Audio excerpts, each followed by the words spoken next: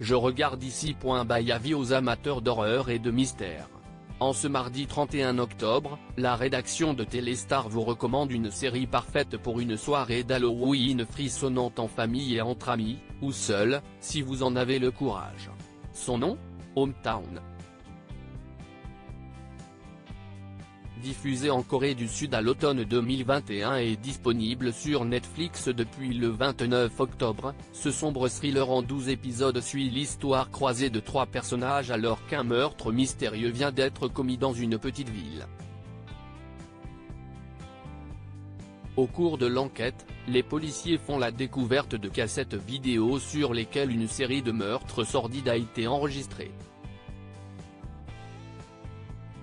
Tout commence en 1999.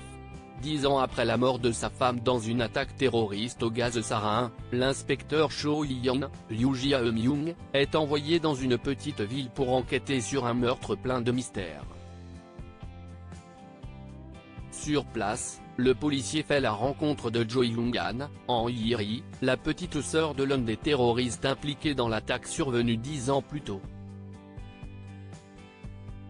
Détruite par les erreurs de son aîné, Liu-Yan a reconstruit sa vie avec l'aide de sa nièce, Jo Jia-Yang, mais celle-ci disparaît mystérieusement.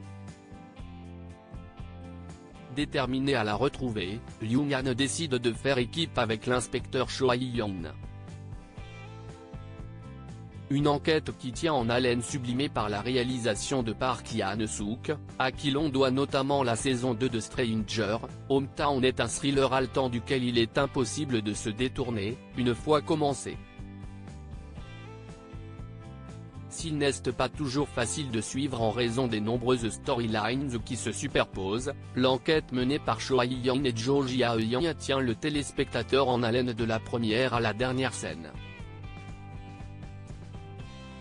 Et pour cause, le scénario prend une direction totalement inattendue.